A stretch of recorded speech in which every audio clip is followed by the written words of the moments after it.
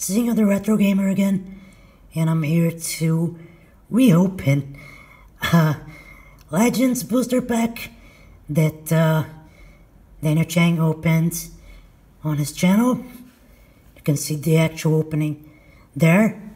It's the uh, it's about wanting a tab- tabernacle, you know, the most expensive card. So he sent me some gifts. Um, beta Benalish hero. Okay. Um, it bans. And uh, it's only one white mana. And also Nafs Asp from Christopher Rush. And the hero is from Douglas Shuler. And this one is Arabian Night Sun. It kinda deals extra damage to an opponent, and the, he said that the Hornet Cobra, would the illustration of the Hornet Cobra, would fit better in this card here, the Asp. I don't know about that, but yeah, maybe this is Rush artwork, it's like top tier stuff. And he sent me Phyrexian Gremlins, which appears to be kind of a misprint. Um, so they do some shenanigans, and um, yeah, it's runs off center, you know. The beta hero is well displayed, but these are just gifts. So let's reopen this pack. what the hell, man? So, uh, yeah. Here are the cards. yeah, you open it for me. It's okay. I'm, I'm just gonna comment on the cards, you know, because um, got uh, Sir Shandlar of Eberron, and uh, it's a legend, you know, and it's uh, multicolored. So uh, I like this card, but the power level is kinda kind of low, you know. So uh, it's worth a couple of bucks. And the other uncommon, the Hammerheim with the print dot, you know. Uh, love those print dots. So um, Hammerheim it's like five bucks. Um, it removes landwalk ability. So um, not so useful, I guess. And the Serra Cathedral.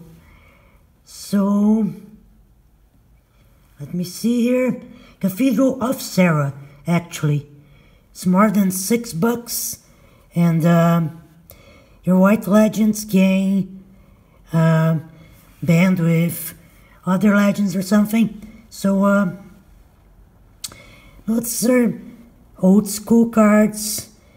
And so, I don't know if these come with three or four uncommons, but uh, this one is the rare. Okay, it's a Gabriel Angelfire, which is not a bad pull. It's like 10 bucks, and uh, you know, a rare. Um, casting cost is insane at 7, and um, he just gains either flying or or rampage tree or whatever but uh, yeah Dan- Daniel Gelon artwork you know. So um, i like the, these cards and uh, you know just uh, that the angels are messengers. So um, just telling you that you know just run for your life because nothing but comments and some political commentary coming up so uh, okay. The vampire bats. Yes vampire bats. So uh, well they're vampire bats. Okay so the Pradesh gypsies. Okay here's the deal um, this one doesn't even say gypsies. But, uh, you know, a gypsy with a uppercase G can be offensive or something like that. Sometimes they represent um, people who move around a lot. You know, it's uh, ancient, ancient people, and uh, maybe it's because there's so much skin that they're banning these, or it's an insensitive cards.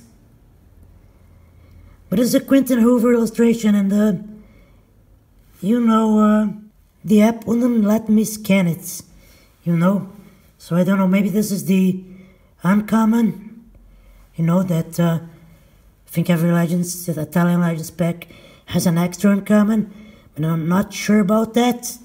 But uh, yeah, now this card is veiled in veiled in secrecy, and uh, yeah, I'm for freedom of speech.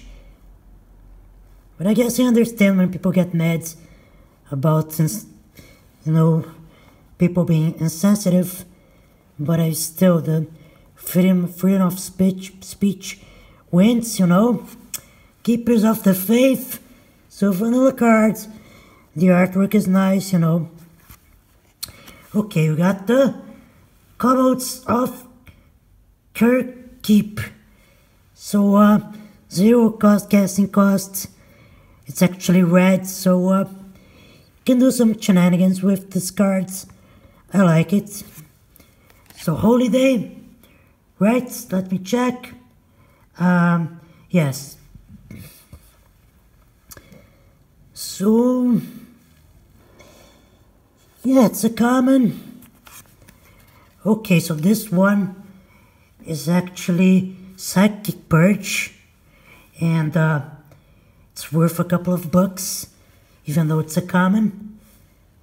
I mean, Italian Legends cards are a little cheaper, you know, uh, but uh, this one's nice. Um, the Anti-Magic Aura Okay.